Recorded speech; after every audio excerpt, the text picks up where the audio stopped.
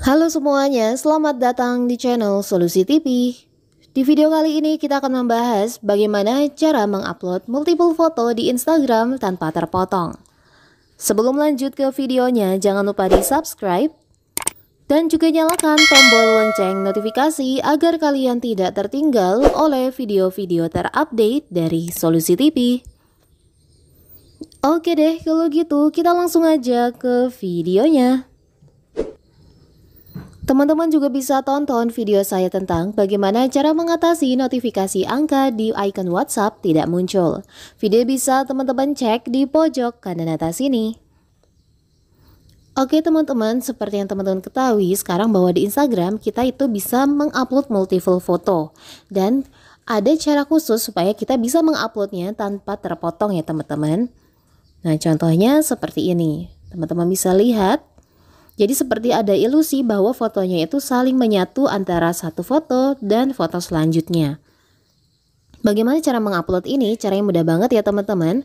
Sebelumnya saya sudah buatkan cara, cara untuk supaya membuat foto itu uh, tidak terpotong ya teman-teman. Sekarang kita akan langsung aja menguploadnya, cara menguploadnya. Kita butuh aplikasi Panorama Crop yang bisa teman-teman langsung download di Play Store.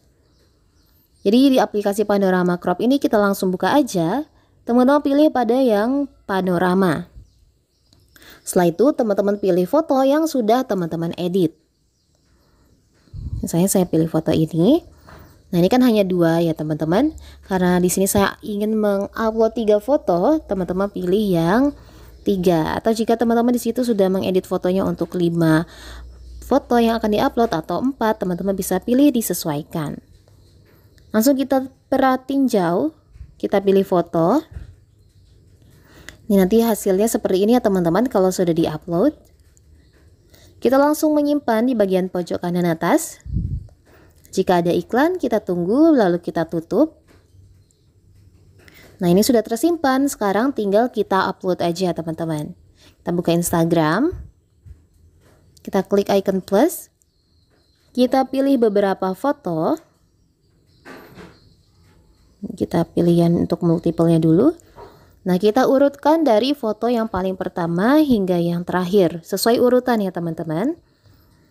Nah, ini dia sudah pas. Kita langsung kirim saja. Nah, ini teman-teman bisa tag ter orang terlebih dahulu atau teman-teman buat caption atau teman-teman tambahkan lokasi juga bisa ya. Sini saya akan tambahkan caption Misalnya kita buat caption seperti ini. Jika sudah kita langsung kirim. Sekarang kita coba cek ya teman-teman hasil postingannya. Ini dia teman-teman hasilnya. Kita coba buka. Dan teman-teman bisa lihat di sini untuk hasil foto yang kita kirimkan itu tidak terpotong ya teman-teman, menyatu. Keren banget kan teman-teman caranya? Jadi postingan di Instagram kita lebih estetik dan lebih menarik lagi. Oke semuanya, itu dia video kali ini bagaimana cara memposting multiple foto tanpa terpotong di Instagram. Semoga membantu. Selain video ini, saya juga membuat video tentang bagaimana cara menonaktifkan WhatsApp tanpa perlu mematikan data internet. Video yang bisa teman-teman cek di link deskripsi di bawah sini. Jangan lupa like dan subscribe untuk terus dukung channel Solusi TV agar bisa terus berkembang dan memberikan solusi-solusi menarik lainnya. Terima kasih sudah menonton dan sampai jumpa.